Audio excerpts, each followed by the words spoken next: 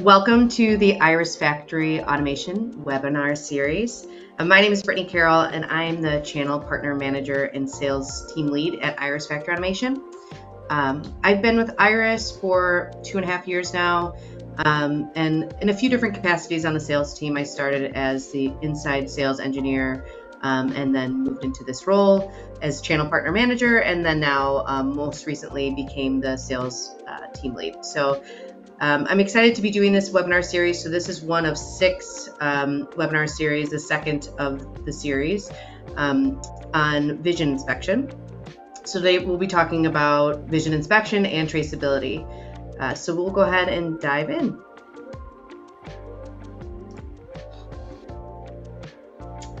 All right. So during today's presentation, uh, we're going to discuss the basics of vision inspection and traceability. I'm going to share the difference between traditional and AI vision inspection and how vision inspection benefits manufacturers and the use cases in the different industries. Uh, we'll also finish the presentation with how uh, IRIS tackles vision inspection and how our clients benefits benefit from our systems. And last, we're going to end with a question answer session with our engineering group manager, Chris Budney. Um, so during the presentation, feel free to dro drop your uh, questions in the chat, and then we will get back to those at the end.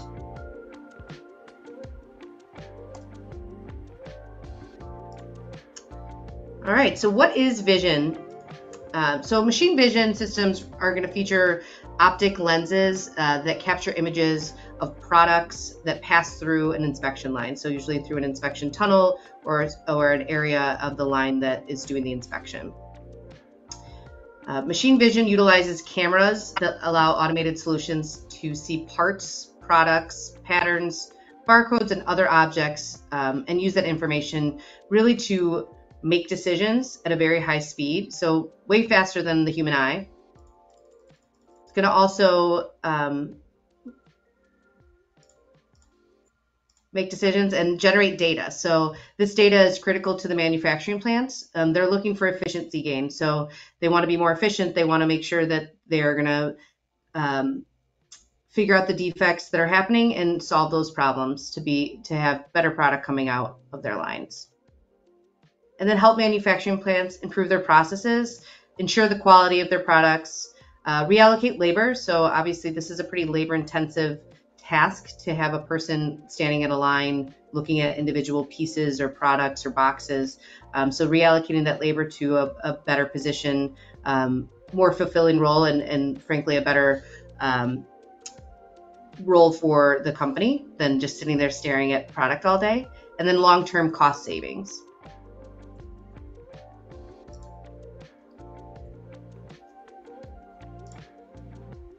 Uh, barcode verification and traceability. So two different types of uh, uses for barcode scanning. So barcode scanning systems in manufacturing um, are utilized, they utilize cameras or barcode scanners to access data or information about the products being scanned or the quality or readability of the printed products, um, components, or packages. So barcode verification is going to ensure that the barcodes are of high quality and can be scanned accurately. And this is going to help prevent scanning errors and ensure smooth operations. Barcode traceability allows manufacturers to track products throughout their entire life cycle using, bar, um, using the barcodes. So uh, using unique barcodes rather. Um, and this helps quality control, improves efficiencies, ensures compliance. Um, so there's different uh, barcodes that have to be compliant for um, certain standards. And, and these are industry standards um, and regulations that keep tabs on where the products are and where they've been.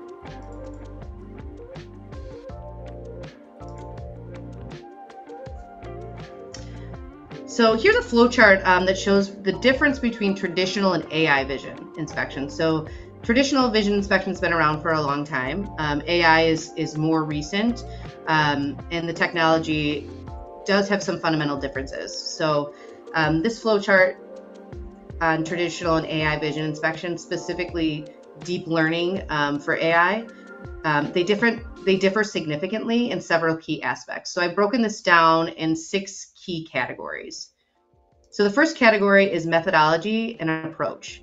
So how are vision products projects tackled with these with each of these technologies? So vision traditional vision inspection relies on predefined rules, algorithms which are programmed by engineers. It typically involves techniques like thresholding, edge detection, template matching, and feature extraction to analyze these images and detect defects or anomalies. Where AI vision inspection is going to use deep learning models, and this will automatically learn features and patterns from data.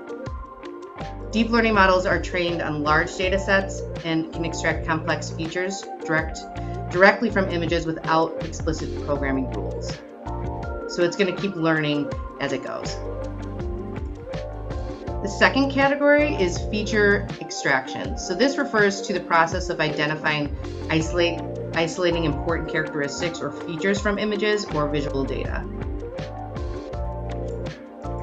Traditional vision inspection requires manual or semi-manual um, extraction where engineers specify the characteristics or feature to detect in the images, where AI vision where deep learning automatically learns these features from the data during the training process. So when we're setting up the system during the training process, um, the deep learning models can discern or um, discern intricate patterns and features that may not easily be specified by a human engineer.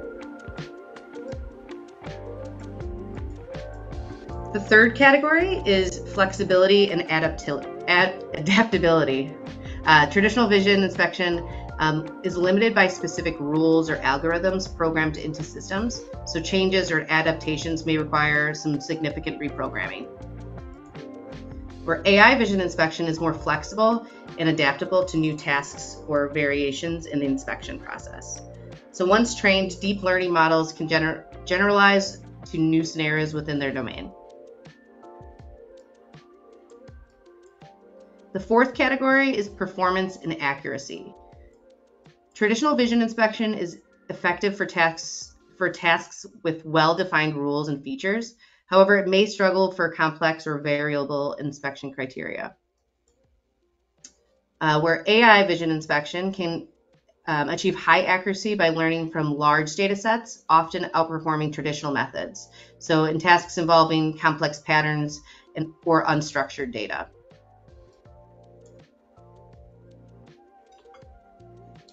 So the fifth category is training and maintenance. A training um, for traditional vision inspection requires expertise in image processing and algorithm design, so usually done by an engineer. Maintenance does involve updating algorithms manually as well. Where AI vision inspection requires large amounts of labeled data and training um, and expertise in deep learning models um, and kind of the fine tuning there. And maintenance involves retraining models periodically to adapt to changes in the production environment. And the last category um, is cost and implementation. So traditional vision inspection, initially the cost is going to be um, a little more cost effective um, because it's usually for simpler tasks and it requires less um, power and data where AI vision inspection initially is going to be more resource intensive due to the high need, due, due the need for computing power, large data sets, specialized expertise. Um, but it does going to it is going to provide significant long-term benefits. So to recap, um, inspection relies on explicit programming of rules and algorithms um, in traditional vision. AI vision inspection uses deep learning and automates uh, features extraction and pattern recognition trained in large data sets. So this makes AI vision inspection more powerful for complex complex tasks. Um, but these cases for both, there's cases for both AI and traditional vision. And Iris, we actually have some cases where we use both in a in a particular application.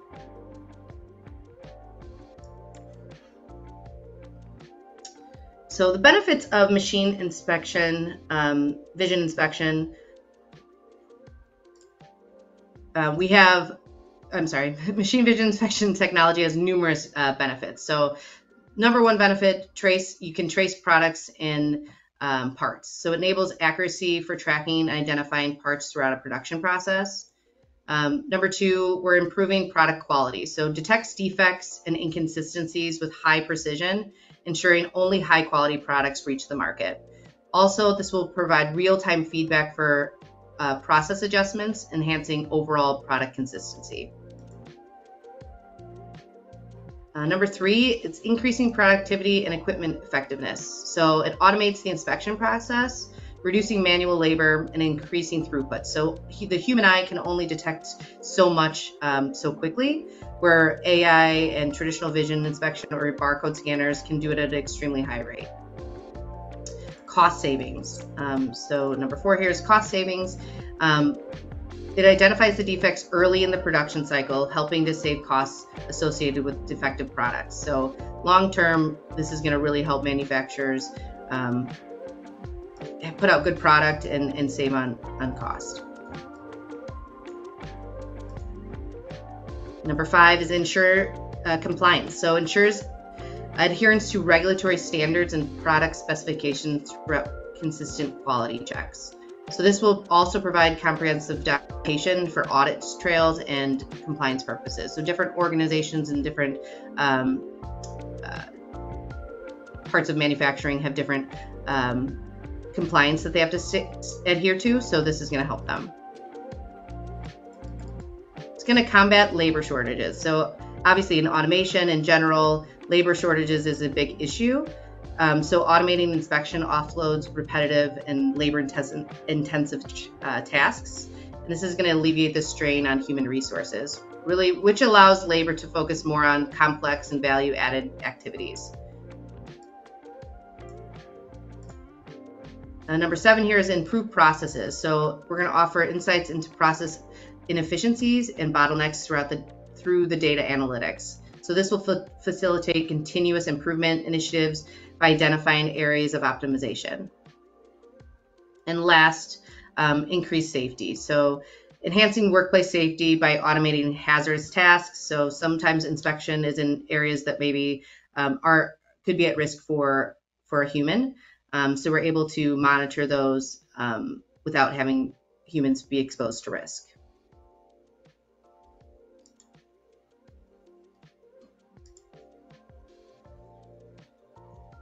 Um, so vision inspection is being widely used among all manufacturing industries. Iris works a lot in the food and beverage and fast moving consumer goods space, really doing primary, secondary, and tertiary packaging inspection. However, there's a lot of other industries that use vision inspection in other ways. So food and beverage, uh, packaging and product product inspection is pretty typical. Uh, pharmaceutical uh, inspection of pills and tablets or packaging as well consumer consumer goods, cosmetic and personal care inspection, textile inspection. The automotive space, automotive space has been using vision inspection for a really long time um, on the, the uh, assembly lines. They're looking for quality control. Metal and machinery, metal fabrication and machining inspection is very common. And then aerospace and defense um, component inspection and surface inspection is pretty common in those industries. So it's widely used across all of manufacturing.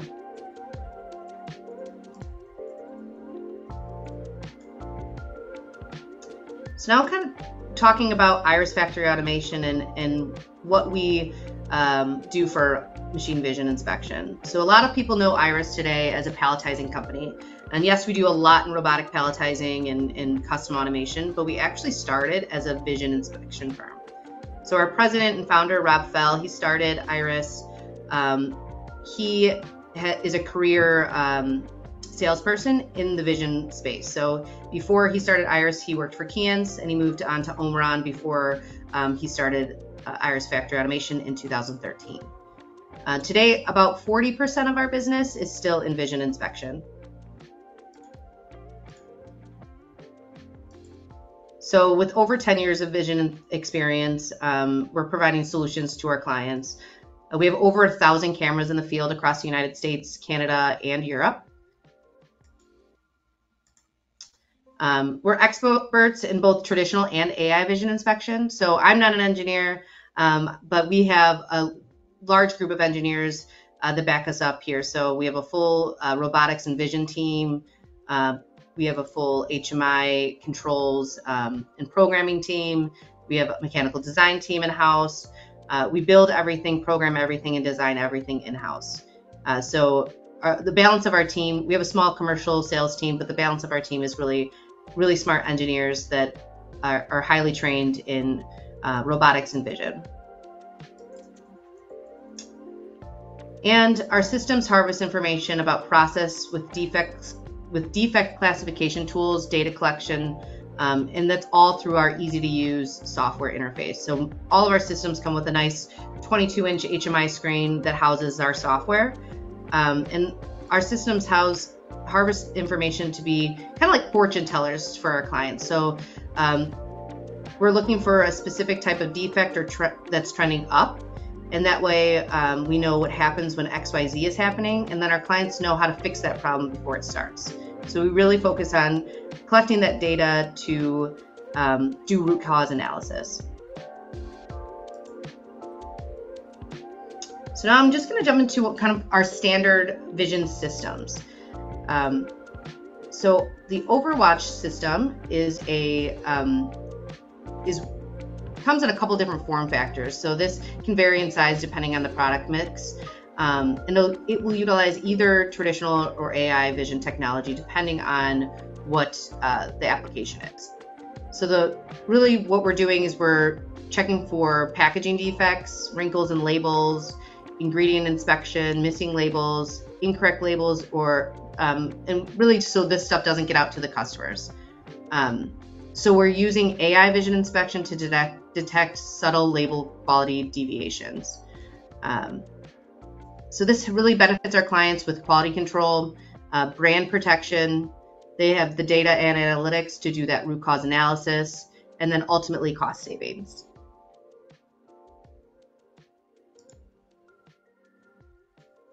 Barcode scanning. So this um, is a screenshot of one of our newer systems called the Guardian.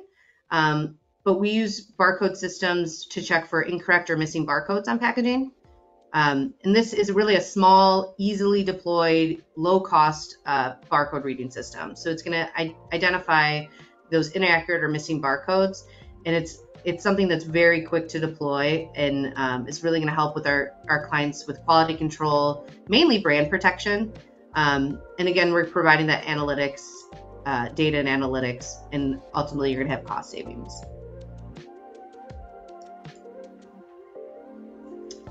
Filter vision system. So the filter vision system um, uses AI vision technology to inspect single serve coffee cups. So we do a lot of work in the single serve coffee space. Um, so what it's doing, it's it's finding contaminants getting into the single serve coffee cups. So this is going to detect foreign objects. Um, it's also going to detect if there's a proper weld of the filter before it gets to the coffee filler. Um, so this is going to help with quality control mainly. Um, again, with most vision systems, you're going to protect your brand by not getting bad product or product that has contaminants out to the public. Um, we're also providing a lot of data and analytics here so we can really find the root cause and um, stop the problems before they start and ultimately cost savings. And the last um, solution that we are providing is the lid qualification system. So this utilizes both AI and traditional uh, vision on the solution. And it's looking for incorrect labels on lids, uh, leaks in the lids, lids coming off of the single serve coffee cups. Um, so it's really going to look, again, we're looking for the incorrect labels and then we're going to reject them. Um, we're going to check to make sure there's a fully weld lid, um, which we're doing with a cylinder and also a camera. This is going to really be mainly for quality control, uh, brand protection again, and then we're providing those analytics uh, to get to find the root cause of any of these issues and saving our customers money in the long run. So, um, us being very spe- specified on end of line packaging automation. A lot of our vision inspection is done um, on packaging. So secondary, tertiary packaging, even um, primary packaging. but what we also do is we integrate barcode traceability um, and vision into our uh, palletizing solutions or case packing solutions. So what you're seeing here, uh, what you're seeing here is inline, we're doing a barcode scan before it gets to the palletizer to determine if the correct label is on the box or if there's a label present. Um, before we're palletizing. So this barcode scan will, if, if it's not scanning a barcode or if it's an incorrect barcode, we can stop the robot alarm or we can do a reject, whichever the customer would prefer, uh, before it gets onto a pallet to go out to a customer. So this is something we do quite often in line with our systems.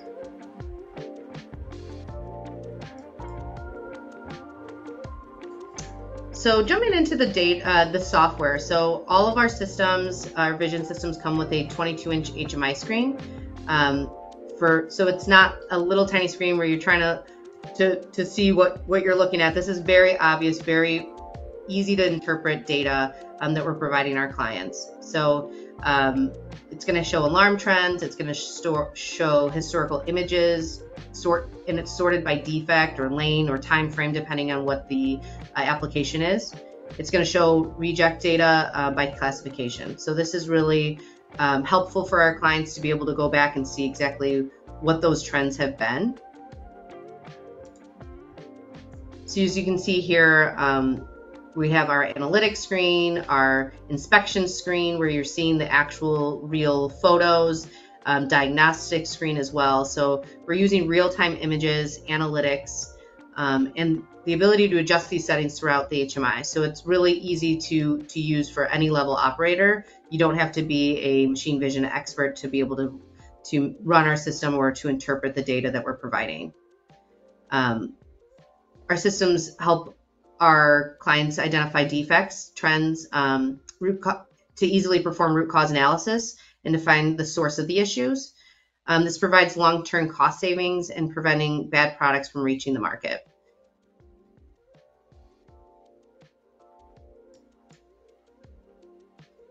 So to, to recap uh, really the presentation here, so machine vision is helping manufacturing plants with quality control, brand protection, labor reallocation, and, and ultimately providing cost savings. Um, Iris Factory Automation really provides our clients with a turnkey vision solution. So we work with you throughout the uh, project appraisal process to uh, identify the products that we're going to be inspecting and ensure that we're providing you with the correct solution. Um, our team's going to work with you throughout the process. Um, once we once you purchase the product, um, we're going to help you with the install, and it's going to be fully up and running, and your team will be trained before we leave your your uh, facility. Um, we're providing data collection and analytics, and then we have years of experience and knowledge um, in traditional AI and barcode scanning to really be the experts and help your, your operation. And we're providing this all with easy to use software interface um, so any level operator is able to um, engage with our system.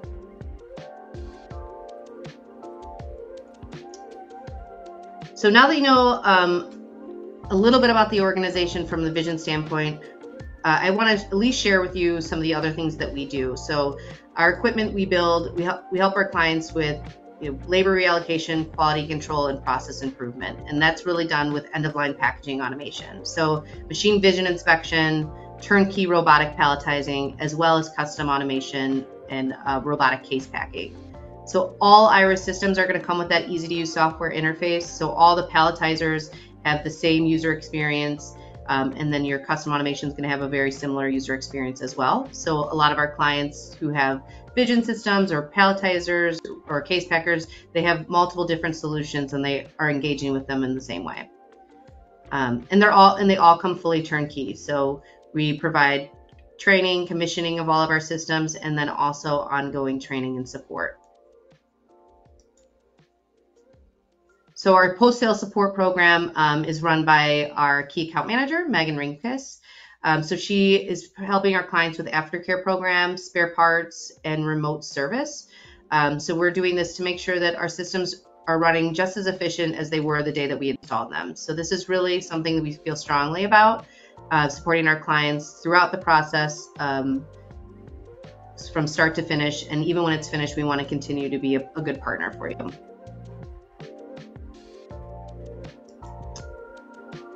All right, so now I'm going to open it up for questions. Um, so we have Chris Budney, who is our uh, engineering group manager. Chris has been with Iris since the beginning. He was employee number one.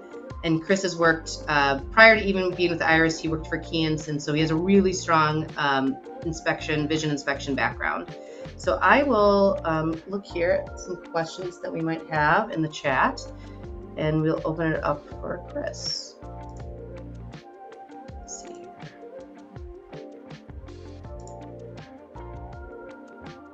All right, so first question, Chris, um, if you are able to unmute yourself, is what information do I need to provide to get started uh, with a vision project with IRIS? Yeah, so for getting started in any vision project, uh, some key details are going to be, you know, what what are you trying to achieve with any vision system? Is it primarily a quality system in terms of pass, fail, and rejection of uh, non-conforming product? Is it a track and trace uh, system where we're trying to collect as much data as possible? And once we kind of identify the style of vision, key information is, you know, rate of the products going through, size of uh, the smallest feature that we're looking for. So for a barcode, that size of the barcode. For quality inspections, it's the size of the smallest defect um, and the if the product is moving, what speed is the product moving at? Usually is enough to get us uh, going on any vision application. Great. Uh, next question is what type of training is involved when implementing a vision system into a plant? Yeah, so uh, training a plant on a new vision system usually includes training multiple levels of users.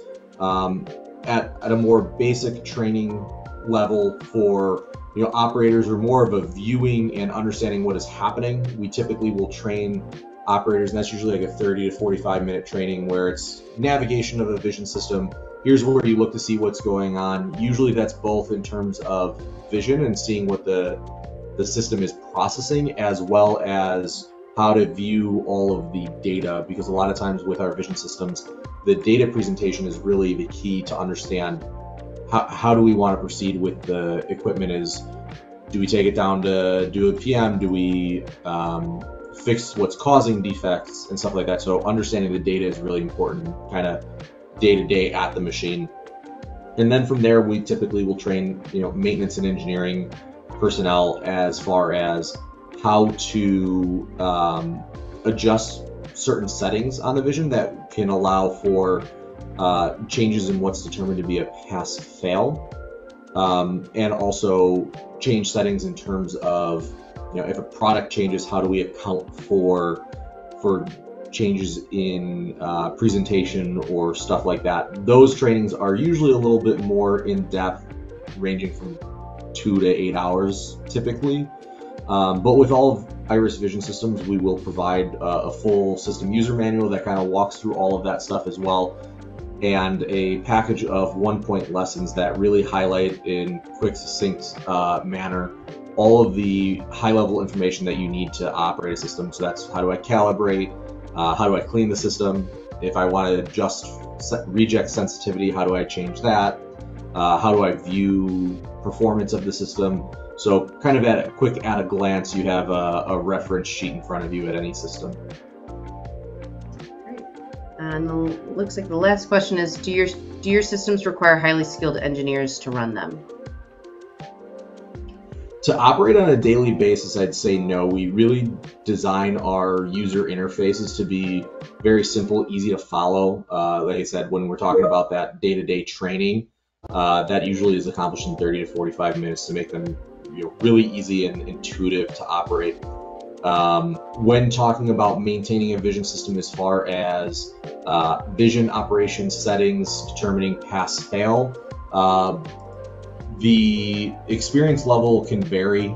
Typically, traditional machine vision systems where we're using you know rule-based machine vision, those do require a more um, vision expert level uh, style of understanding and maintenance if you're expecting to make changes as far as what kind of inspections are we doing, what's good, what's bad. Um, when you get more onto the deep learning AI vision, uh, a much less impact on that for sure because with that training is is as easy as saying you know this these hundred images are good these hundred images are bad and let me you know with the with the mouse mark each bad image of why it's bad which will and then it's you running through the training algorithm which uh, is typically already pre-set up. It's just a matter of changing the inputs being the images uh, on something like that. Um, most of our systems we we do design even for rule-based or um, deep learning vision we'll design an hmi that has all of the um, common settings that may need to be changed exposed in the HMI where you don't really need a true vision understanding to understand how tweaking those settings will affect your inspection. And those settings are uh, typically exposed to maintenance and engineering staff with an explanation of what you can expect by changing them. So it doesn't require, you know, doesn't require, you know, any coding at the vision level typically to ma- maintain or run one of our vision systems. Great. And does anybody else have any other questions? I see a few people still on here. Feel free to drop it in the chat.